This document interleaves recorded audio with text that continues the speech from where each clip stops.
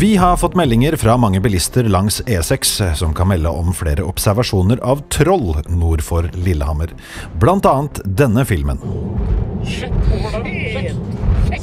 Det er mistanke om at troll samler seg rundt Hundefossen. Vi har fått en kommentar fra Mats Larsen ved Hundefossen eventyrpark. Ja, det er mange troll som har eh, fritidshuler oppe i eh, Gudbrandsdalen, og spesielt rundt Hundefossen. Eh, vi har jo da vært i dialog med de for å skape en forståelse om at alle restriksjoner skal gjelde alle. At det ikke er unntak, og de fleste søknader blir da avslått for de som vil bruke fritidshula si. Men nå har vi kommet dit at vi har en god dialog, og vi tror dette skal gå fint i ukene framover. Takk til Mats Larsen i Hunderfossen eventyrpark.